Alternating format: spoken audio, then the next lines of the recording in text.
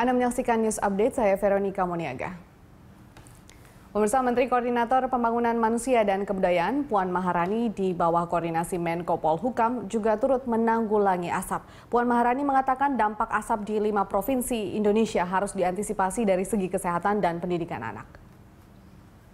Menko Pembangunan Manusia dan Kebudayaan Puan Maharani mengatakan saat ini sudah dikirim 33 ton alat dan obat-obatan untuk para korban. Tercatat di Indeks Standar Pencemar Udara atau ISPU di lima provinsi termasuk Kalimantan Tengah dan Sumatera Selatan telah mencapai angka 300 yang sudah masuk dalam kategori tidak sehat, bahkan berbahaya bagi kondisi kesehatan.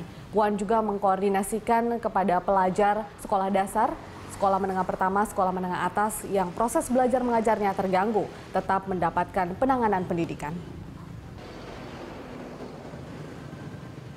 ISPU yang ada di e, lima provinsi tersebut, khususnya di Kalimantan Tengah dan di Sumatera Selatan itu sudah hampir mencapai 300 di mana e, menurut kesehatan tiga ISPU 300 itu sudah tidak sehat bahkan berbahaya bagi e, kondisi kesehatan di daerah wilayah-wilayah yang kemudian e, terkena e, dampak dari asap itu.